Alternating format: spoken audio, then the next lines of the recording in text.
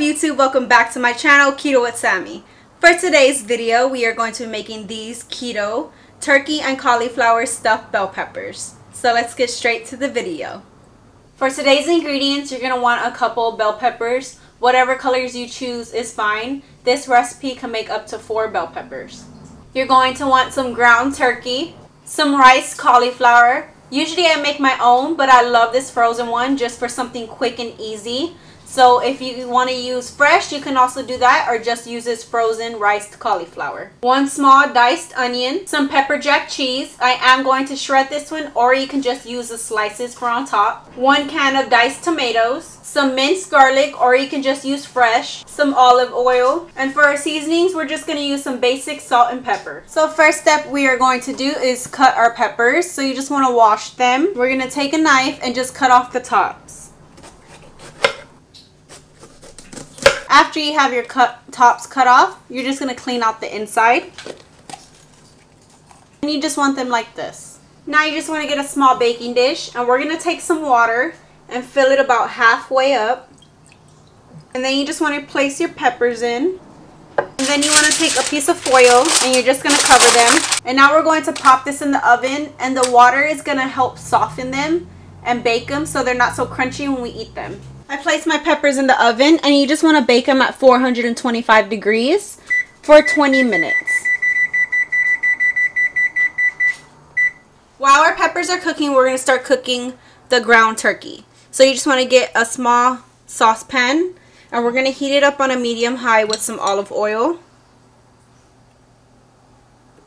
After your oil has heated through, we're just going to toss in our diced onions.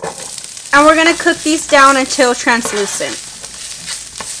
After your onions are midway translucent, I'm going to add one tablespoon of the minced garlic.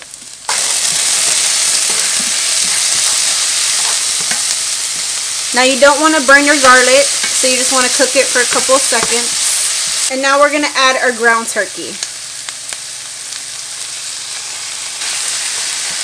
You want to season your ground turkey with some salt and some pepper.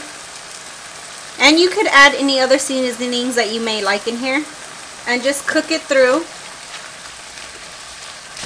After your meat is cooked through, we're going to add our rice cauliflower.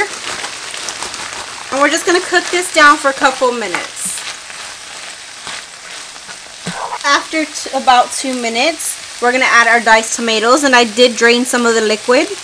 You do want to season it with some more salt and pepper. We're just going to let this cook down for about another two minutes. Now we're just going to turn off our heat and start stuffing our peppers. So I took my peppers out the oven. Just going to open them up and they should be nice and tender. And now I'm just going to drain out this water. After you have drained out the water, we are going to just start stuffing the peppers with our meat filling. So just push everything towards the bottom and stuff them as much as you can. Now remember this recipe can make up to about four bell peppers. I'm just making two today because it is just for me and I will save the rest of the filling for another day. These are also great for meal prepping. After you have stuffed your peppers, we're just going to top it with some shredded pepper jack cheese. After we have topped it with our cheese, we're going to pop it back into our 425 degree oven just until the cheese is nice and melted. After a couple minutes, your cheese should be nice and melted. And now I'm just going to add a little bit of parsley flakes on top. I just like the way parsley flakes looks on food and it gives it more flavor and a little bit of color. And let them cool down, cut up, and enjoy. Alright guys, so that concludes today's video of my keto turkey and cauliflower stuffed bell peppers. I hope y'all give this recipe a try. Please like, share, and subscribe. And don't forget to follow me on Facebook. I will link that in the description below along with all the ingredients. I'll see y'all in my next video.